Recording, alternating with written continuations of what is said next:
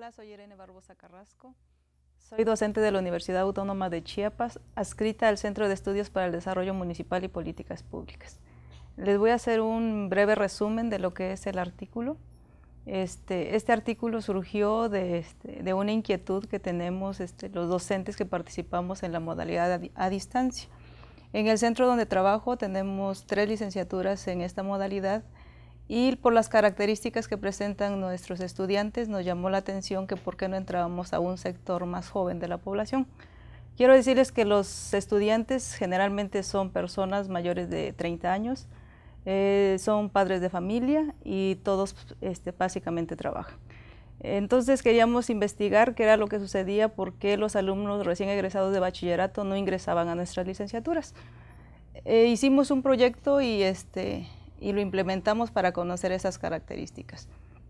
El, el proyecto se, se, implementó en los, el Colegio de Bachilleres de Chiapas. Eh, estamos hablando del turno matutino, estamos hablando de 159 alumnos que participaron voluntariamente para nuestro proyecto y que accedieron a responder cada una de, de las preguntas que, que el cuestionario implementaba. El cuestionario se dividió en cuatro secciones, este, donde buscábamos conocer las características socioeconómicas que obtenían nuestros alumnos, qué recursos de, este, de informática ellos estaban manejando, qué expectativas de formación tenían y, qué, este, a qué universidades precisamente querían ingresar. Eh, durante este, bueno, los resultados que obtuvimos de este proyecto fueron muy interesantes. Básicamente estamos hablando de que son alumnos que tienen recursos económicos estables, que, tienen, eh, que están en la capital de, del estado, que son en zonas urbanas, que conocen mucho de los, de los medios de información, tienen acceso ya sea personalmente o a través de las instituciones donde estudian, este, tienen acceso a estos este, medios de, de, información y por tanto están muy familiarizados con ellos.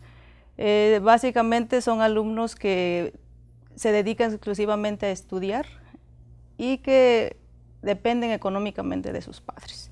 Nos llamó mucho la atención saber que, por ejemplo, los padres de estos alumnos tienen eh, una situación económica estable, tienen un nivel educativo alto, más del 50% de los, de los padres de familia de estos alumnos tienen nivel licenciatura, incluso posgrados, y, y eh, hacemos un promedio entre lo que este, los padres, las madres que, de los alumnos, más del 70% tienen un nivel superior a, este, a lo que es el bachillerato. Eh, considerando que el nivel de educación en el Estado es de seis años aproximadamente, consideramos que ellos tienen un nivel bastante alto. Eh, desde la perspectiva de los alumnos, ellos o sus padres tienen una posición económica bastante estable que les permite a ellos este, seguir estudiando. Ellos consideran que tienen muchísimas posibilidades de continuar este, estos estudios. Dentro de las características de, los, de las tecnologías de información y comunicaciones que ellos manejan, bueno, tienen todos los accesos, este, manejan el internet, la computadora, de este, utilizan el escáner, tienen este, todas las posibilidades de que nosotros como profesores requerimos que un estudiante en línea tenga acceso y que sepa manejar. Ellos lo manejan perfectamente. Sin embargo, cuando este, les, les, preguntábamos sobre las expectativas que ellos tenían para continuar su formación, ellos visualizan a la universidad pública principalmente como una, una posibilidad para seguir estudiando, pero no visualizan a la universidad en línea como una posibilidad.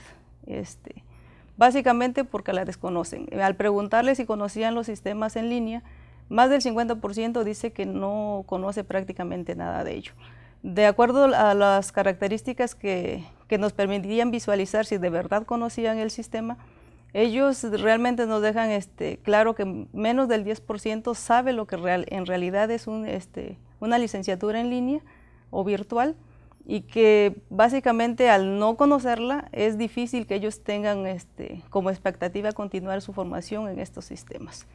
Ellos lo relacionan con que es obviamente a través de Internet, que es a través de la computadora, y básicamente dicen que se quedarían con muchas dudas si ellos estudiaran bajo este sistema. Lo que nos deja claro que tienen un desconocimiento claro de este, de este sistema y que no, no conocen básicamente. Eh, dentro de las principales este, conclusiones que, a los que llegamos es que el alumno está formado, este, tiene conocimiento de las tecnologías, pero no ha sido incorporado a su formación, este, a su formación educativa.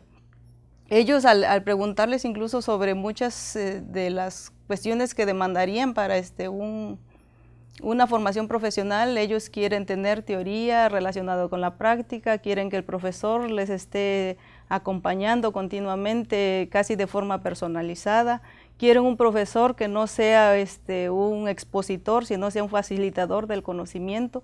El alumno no se ve realmente como una persona que quiere ser receptiva nada más de lo que el, profesor les da, sino quieren tener una, participación activa dentro de su formación quieren que sea también muy accesible, que no estén gastando en copias, que no estén gastando en libros, que no estén este, eh, gastando recursos que básicamente no tienen. Entonces ellos sí buscan estas características que presenta la formación virtual, pero realmente no conocen o no saben cómo incorporarlas.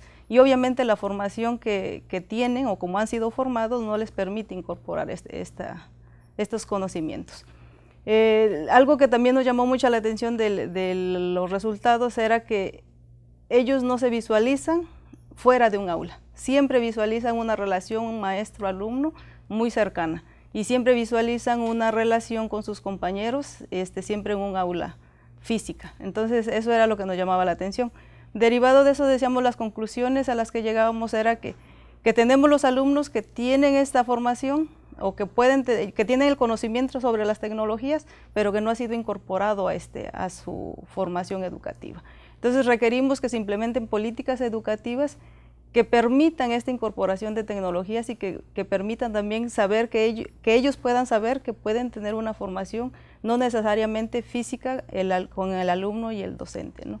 que pueden tener una expectativa este, mayor incluso con estas licenciaturas en línea y que realmente tienen muchísimas de las características que ellos demandan de una formación profesional.